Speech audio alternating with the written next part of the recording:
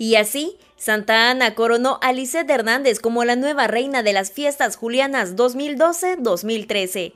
Entre el jurado a cargo de escoger a cada una de las 14 señoritas para las diferentes categorías estaba Sigfrido Reyes, Ricky Mina, Joel Díaz y Fátima Mauricio, Miss Turismo El Salvador. Bueno, ya tenemos una nueva soberana en el municipio de Santa Ana, coronada por primera vez en este escenario tan bello que es el Teatro Nacional de Santa Ana. Así es que este, le deseamos a nuestra soberana éxitos y por supuesto hacer un trabajo de cara a la sociedad. Bueno, pues mi impresión es que tenía mucha competencia, todas las chicas estaban muy divinas y a pesar de que todas fuimos a un casting, todas fuimos ganadoras, ya que solo fuimos 14 elegidas, por lo tanto fue muy, muy difícil la competencia. En el evento se escogió también a la ganadora de traje de fantasía y de gala y por primera vez en esta celebración fue coronada Miss Turismo Santa Ana reconocimiento que Rosy Montoya recibió del ministro de Turismo. Luego de las presentaciones artísticas de cada una de las candidatas, fueron elegidas las seis finalistas que pasarían a la ronda de preguntas.